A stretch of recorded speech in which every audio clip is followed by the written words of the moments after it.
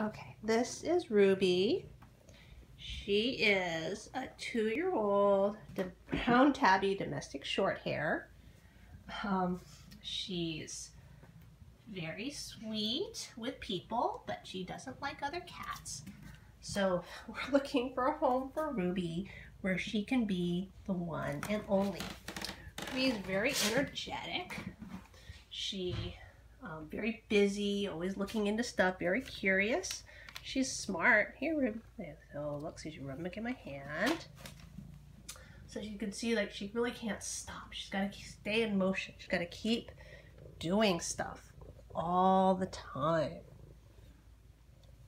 Yeah. She's playful. She likes toys. Um, she's very curious. She's smart. Uh, Ruby knows her name can call her. She'll come.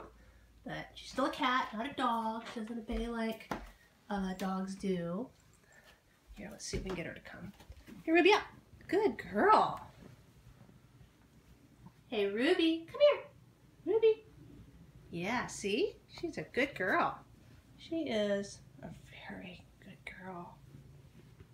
Um, Ruby's okay with dogs. She seems to think that they're nice pals to have and um, she's good with uh, older kids. She's not really good with young kids because it's easy for her to be overstimulated.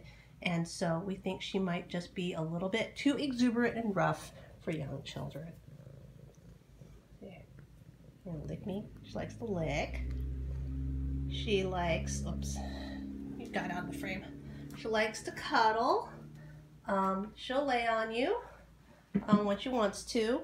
She's not too much about being held. Um, I can pick her up and she'll let me hold her for things like uh, moving her from place to place. But, you know, she doesn't want to be carried around or anything. She's not interested in those sorts of things. So, yes, she's still busy. She just can't stop. Just can't stop moving at all. So, if you're looking for a busy, busy, curious cat who wants to hang out with you all the time, and uh, do things with you. And you know it's just really fun. Um, but very busy. Then please consider Ruby. Um, she's available for adoption from the specialty purebred cat rescue